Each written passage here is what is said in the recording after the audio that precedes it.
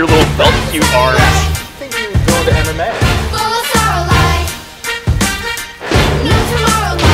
Santa Claus, we know. Wait, I can't get past him. Oh! Assless chat. Make